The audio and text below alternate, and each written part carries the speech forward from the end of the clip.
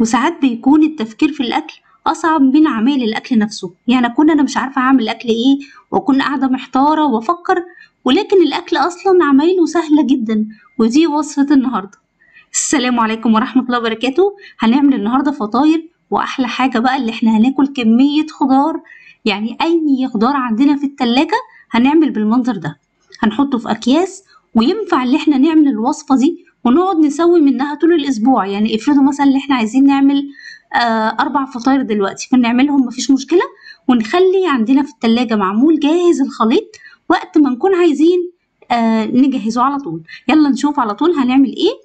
عندي بطاطس وعندي جزر وعندي حمص الشام مسلوق مسلوق كويس وكوسة وعندي ذرة بصوا هي الكمية مش كتير ولكن هتطلع لي بقى يعني بصوا هنا أربع جزرات هنا آه آه مثلا آه كوباية حمص هنا. يعني في الآخر هتجمع المجموع هيكون كتير. أول حاجة طبعا الجزر ده هبتدي أقشره بالمقشرة بيكون أسهل حاجة. وبعدين نقطعه وعايزة أسويه على البخار عشان برضو أحتفظ بكل الفيتامين اللي فيه. يعني بحط في حلة كده شوية مية وأجيب المصفى من فوق وأحط فيها الجزر المتقطع. كل ما بقطع الجزر صغير بيسهل بيسهل الإيه؟ إن هو يستوي بسرعة. البطاطس مش محتاجة تقشير غير بالمعلقة كده حاجة بسيطة. البطاطس اللي بتكون قشرتها رفيعة يعني بعمل فيها كده. آه لو قشرتها تخينة طبعا بنستعمل المقشر وأبتدي برضو أقشر البطاطس وأجهزها علشان إيه؟ أول ما الجزر يخلص بصوا القشر ده بيكون رفيع جدا. فأنا كده أكون أنا يعني إيه آه استفدت بكل الكمية. هنقطع البطاطس بس. البطاطس مش هينفع أعملها على البخار. يعني مش هتستوي بسهولة. هضطر إن أنا أحط عليها شوية مية أديها إيه سلقة خفيفة. تعالوا نقطع كل الكمية كده ونجهزها. عقبال بس الجزر ما يستوي. الجزر طبعا أنا مغطية عليه كمان. طيب أنا قلت خلاص أنجز أسهل. فجبت حلة تانية وحطيت فيها المية والبطاطس اللي أنا قطعتها وخلونا نروح نسلقها لأن هتاخد وقت شوية فخلينا نجهز بقية الحاجات. الكوسة من الحاجات اللي مش هتاخد وقت خالص. وهم يمكن أربع كوسات أو حاجة وهكتب لكم المقادير بالظبط آه لكل وصفة هعمل قد إيه. طيب خلاص كده الجزر استوى. تعالوا نشوفه كده على البخار طبعا. طيب مكانه هشيله وأحط الكوسة. تعالوا نحطه بس في طبق كده. تعالوا بقى نشتغل في الايه؟ أول حاجة. هنشتغل نوع خضار آه كل نوع خضار لوحده. هجيب الهراسة وهي هتكون هتعمل معايا كل حاجة. ههرس الجزر اللي إحنا سلقناه على البخار. نهرسه كويس كده بالمنظر ده.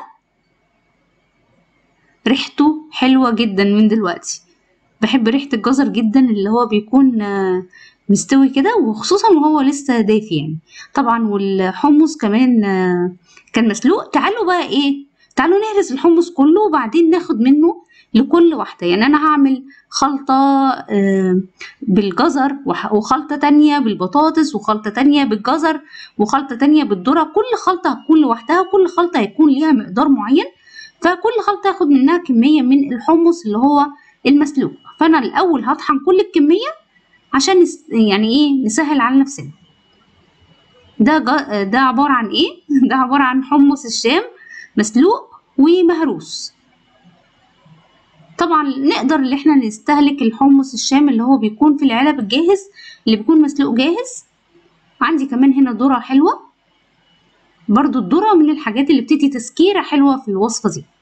كمية مش كتير. قلت لقيتهم كده في التلاجة كنت هعمل بيهم سلطة وبعدين قلت طب لأ خلاص هعمل بيهم الإيه؟ الوصفة بتاعت النهاردة. بصوا الكمية دي برضو هرستها وجهزتها.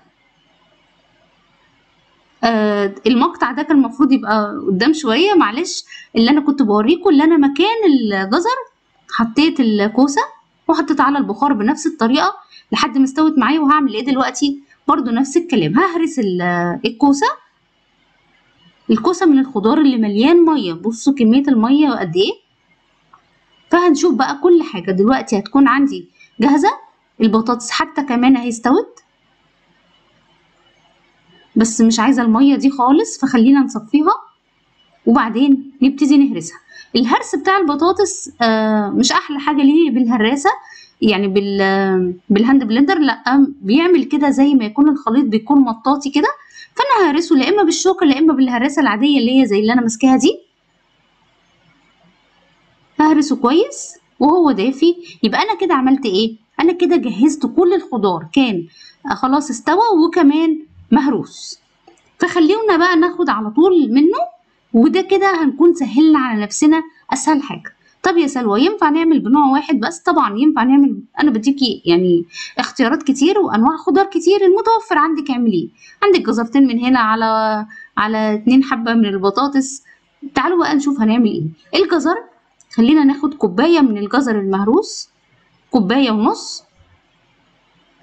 وبالنسبة للحمص اللي هو آه حمص الشام اللي إحنا سالقينه وكمان هرسينه هنحط ربع كوباية وخلونا نحط نص معلقة صغيرة من ال baking powder وملح والفلفل ونحط شوية حبة البركة ونحط معلقة كبيرة من زيت الزيتون ونحط معلقتين كبار من أي جبنة آه عندي آه جبنة موزاريلا طبعا أو تكون شيدر نوعها كويس ممكن طيب أنا هكتب لكم المقادير برضو عند كل نوع خضار علشان برضو بتختلف من الجزر للبطاطس يعني مش كله هيكون زي بعضه.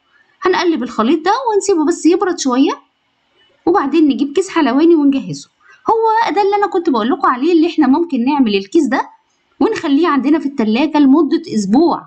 كل يوم نطلع ونعمل آه شوية من الفطاير دي وهوريكم وهقول لكم على التسوية اللي بتكون حلوة جدا وسهلة كمان. بصوا كده. يبقى أنا عندي كده كيس الجزر جاهز وقت ما أكون عايزة أعمل فطاير هطلعه. هعمل منه شوية دلوقتي وهشيل الباقي في التلاجة آه يعني آخد منه طول الأسبوع. بتبقى الوجبة دي حلوة جدا وخصوصا لما ولادنا بيكونوا راجعين من المدرسة وعايزين ياكلوا حاجة قبل الغداء. فدي بتبقى مناسبة جدا يعني. هحط الكوسة عندي تلات أرباع كوباية من الكوسة المهروسة وربع كوباية من الحمص الشام اللي إحنا سلقناه وهرسناه هحط معلقة كبيرة من زيت زيتون وأحط كمان نص معلقة صغيرة من ال baking powder ونحط كزبرة للنكهة أي حاجة ونحط معلقتين كبار من الجبنة الموتزاريلا. ونقلب كده يبقى إحنا حطينا الكوسة والحمص المهروس وال baking powder والملح والفلفل والكزبرة والجبنة الموتزاريلا وزيت الزيتون. برضو هنعمل إيه؟ هنجيب برضو كيس حلواني عشان برضو يسهل علينا التشكيل. لأن زي ما إحنا شايفين هي مش عجينة. يعني إزاي هتبقى فطاير دي؟ فهنشوف دلوقتي هنعمل إيه. وبرده بنفس الكلام أنا ممكن يكون عندي كيس الكوسة ده ويقعد معايا لحد أسبوع جوه التلاجة وقت ما أكون عايزة أطلع أعمل منه. طيب بالنسبة للذرة دي الذرة اللي إحنا كنا سلقينها و... ومهروسة تعالوا نجيب عليها ربع كوباية من حمص الشام المسلوق ونحط عليها برده الملح والفلفل نص معلقة صغيرة من ال baking powder ونحط كمان معلقة كبيرة من زيت الزيتون ونحط معلقة كبيرة من الجبنة الموتزاريلا. طبعا الجبنة ممكن نكتر عن كده لو إحنا حابين. زي ما قلت لكم بيفرق الخضار اللي بيكون فيه سوائل علشان كده برضو كمية الجبنة والحاجات دي لازم تكون على الأقل الكمية المكتوبة مش أقل من كده. برضو إحنا كده بنقفل الكيس اللي هو هيكون جاهز عندنا في التلاجة اللي هو يكون كيس الذرة. كيس الذرة ده هيكون موجود دلوقتي معانا بعد شوية لما نجهز كل حاجة. عندي بقى بطاطس المهروسة دي كمية كبيرة. فهاخد أربع كوبايات من البطاطس اللي إحنا سلقناها وهرسناها. على الأربع كوبايات دول الكمية بقى هتزيد شوية بتاعة المكونات التانية. هحط يعني حوالي كوباية كوباية حمص الشام مسلوق ومهروس. ونحط أربع معالق من زيت زيتون ونحط الملح والفلفل ومعلقتين صغيرين من ال baking powder. والجبنة بقى الموتزاريلا وطبعا والملح والفلفل مننساش الحاجات دي. ونحط برضو جبنة موتزاريلا على الأقل نحط كوباية من الجبنة الموتزاريلا. طبعا لو عملنا نص المقدار ده آه بنقلل لو عملنا أكتر بنكتر.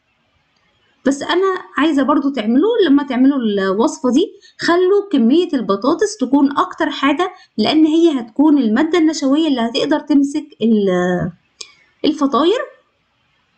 يعني مش هينفع إن إحنا نعمل كوسة بس بس ينفع نعمل بطاطس بس. آه يعني الكوسة من الخضار اللي فيه مية كتير الذرة من الخضار اللي فيها مية كتير فهيكون عندي الأساس عندي البطاطس. شايفين كميته كتير إزاي؟ دي البطاطس هي كتير والجزر والذرة والكوسة كده أنا جاهزة. هسوي بقى اللي أنا هسويه دلوقتي وأخلي الباقي إمتى؟ وقت ما أكون عايزة أعمل فطار. هجيب صينية مفرودة آه أشغل الفرن وأبتدي أعمل أي أشكال أي أشكال. أعملوا دواير أي أشكال. أنا اكتشفت في الآخر إن هي يعني جوه الفرن بتسيح وما بيبانش برضو الشكل. المهم إن الكيس ده هيسهل عليا جدا. اللي أنا أحط الخضار كده جوه الكيس وأبتدي أنزله. نعمل أي أشكال وزي ما اتفقنا. كل الفطاير اللي أنا هعملها الأساس فيها هيكون أو الإطار الخارجي هيكون على الأقل من البطاطس. علشان تمسك معانا لو إحنا حطينا بس كوسة هنلاقي الموضوع مش متماسك معانا. طبعا الصينية دي هتكون مدهونة أي مادة دهنية. نشغل الفرن على درجة حرارة 180 ولما نخلص كل الكمية ويكون الفرن سخن شوية نبتدي ندخل.